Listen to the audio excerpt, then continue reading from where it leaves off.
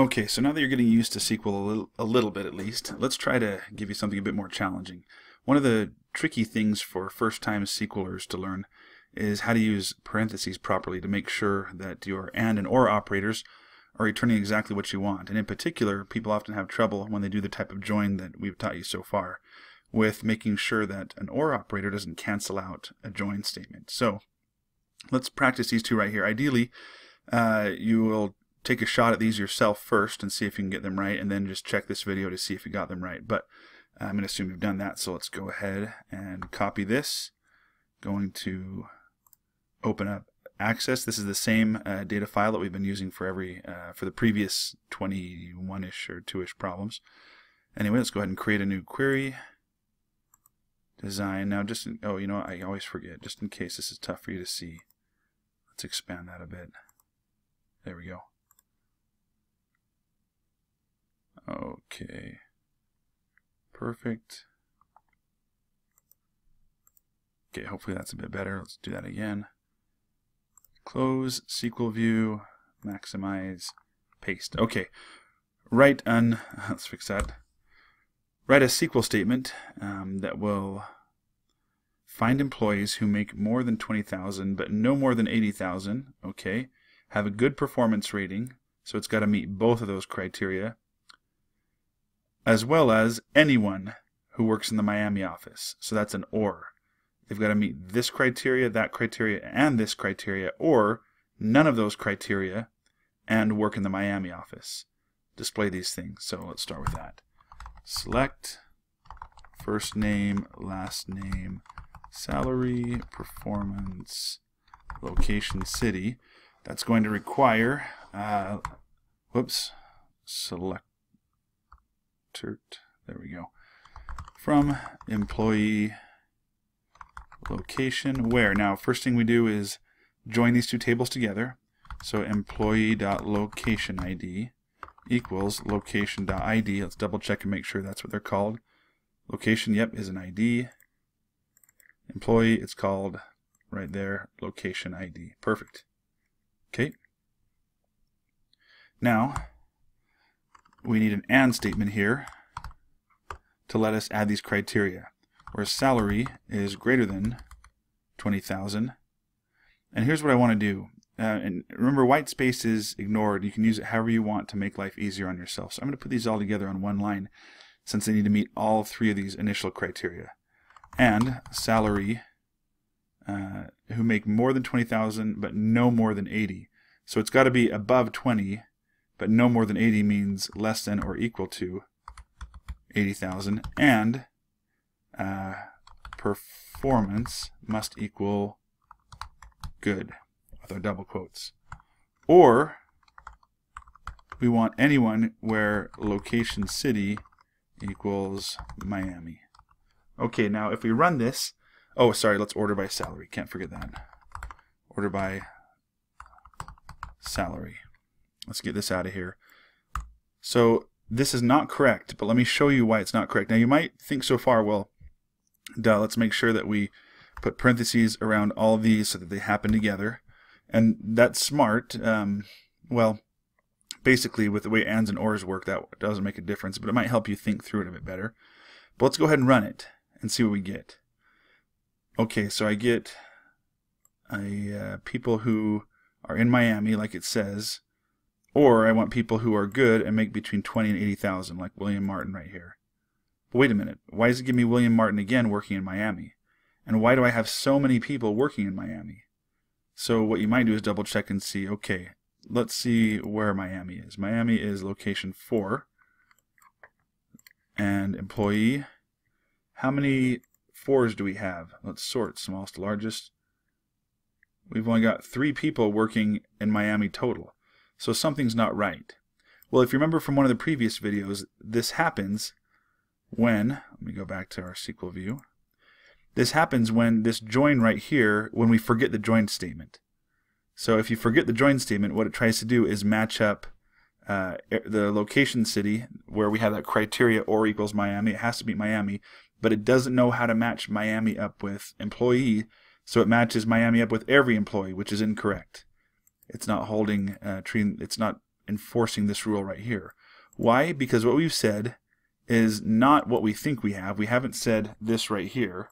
What we've actually said is where this equals true, meaning all of these conditions. It joins it, salary is above 20, below 80, and performance is good. Or it's saying ignore that, ignore all of this right here, including the join, and just say where location city equals Miami. So if I leave all the parentheses out, it's going to ignore this join whenever, uh, you know, in this uh, with this criteria right here. So how do we solve that? Well, uh, ands and ors are like uh, multiplication and plus in a in a in a mathematical formula. So if we were to say 10 times 2 plus 2 equals, well, the uh, multiplication division happens first, much like an AND happens first. So therefore, this is going to be 20 plus 2, it's going to equal 22. Well, let's say what we really meant was 10 times 2 plus 2. Well, in that case, that's going to equal 40 because it's going to do the 2 plus 2 first. That'll equal 4. 10 times that is 40. These are different things. The plus is like the OR. It gets it gets uh, handled second, and the multiplication is like the AND. In other words, it's going to enforce these ANDs first and keep them together, and then it's going to apply this OR second. So the way we fix that is we put the parentheses around this all the way to this. This says now that this join has to happen no matter what, and one of these conditions right here has to be returned as true. The first condition is all three of these things together. The second condition is just this one right here. So this will always happen now, and one of these two things needs to happen. So we run it. Sure enough, now we've got our three Miami employees. One, two, oops, not going to work, is it? I was trying to hold down control. Anyway, three Miami employees, sorry. And then everybody else is someone whose performance is good and they make between 20 and 80,000. So, uh, to make sure that we never lose the join, put parentheses whenever you have an OR around everything after the join statement. Then you can add more parentheses if needed. Let's say what we really wanted was anyone who's between 20 and 80, or anyone who is uh, um, good and working in Miami. We would put a parenthesis there. We could print, put a parenthesis there. We could, whoops, if I actually did a parenthesis. There we go and we could change this to an and, change that one to an or. My point is you can have multiple nested parentheses if that's what you need.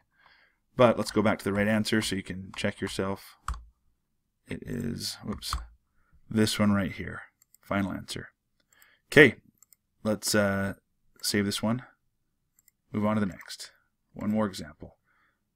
All right. Copy. and create, query design, SQL view, paste. Okay, hopefully you can do this one now on your own. Take a shot at it. If you already have, let's go ahead and do it now. Select, looks like we're going to need first name, last name, hire date, location, city, position, title, from, employee, whoops, we're going to need location and position, where, so let's do our joins, employee dot location ID equals location dot ID and employee dot position ID equals position dot ID. Okay, these are our two joinment statements, so we need to make sure both of these always happen. All right, and then it says managers, and we know that we have multiple types of managers, so let's go ahead and say uh, and position title. Like we know how to do this. Star manager. And who were hired after the year 2002 and hire date whoops hire date greater than pound sign 2000 let's see after the year 2002 so it's got to be greater than we can do this a couple different ways 12, 31, 2002. That would give us all 2003 years. Or we could say greater than or equal to 1 1 2003. Okay. Am I reading that right? After the year 2002. Mm, it doesn't say whether that includes 2002 or not. On an exam, I would ask the instructor for clarification on that one. Anyway, as well as, so that means, okay, they don't have to meet any of those two criteria. Anyone who works in the Chicago office. Okay, so, or location city equals Chicago. All right, so where do we put the parentheses? Um, oh, let's not forget order by hire date. It says descending order. Okay, so we want to make sure that these joins happen no matter what. So let's simply, let's make sure we start here and end here. Okay, so now this has to be true. There's an and, so this also has to be true. And now something in here has to return a true. Okay, there's two ways to return a true. The first way is they're going to be a manager and hired after 2002. And we don't need parentheses around that because this and will force those two together, like a multiplication sign ha happens first. Then the or, uh, location city equals Chicago. Um, this will work. Let's go ahead and delete that. Run it. Here we go. We got managers who were hired uh, after 2002. Did I do that inclusive? I must have. Let's go back. So greater than, uh, hire date greater than 12, 31, or, oh, I see, or location city equals Chicago. Uh, right here. This person was not hired after 2002 and their manager. However, their location city is Chicago, so it returns them anyway because that or means they don't have to meet either of those other two criteria. So there is your right answer for both of those problems.